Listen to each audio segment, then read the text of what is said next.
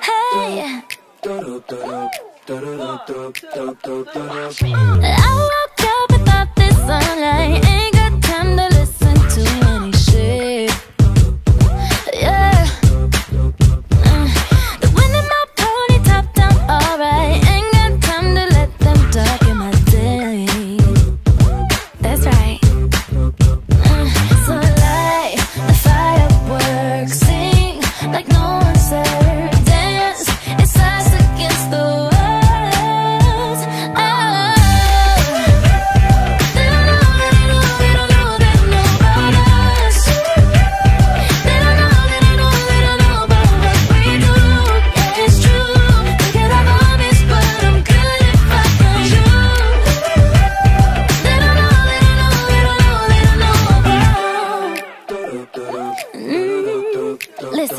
knows me.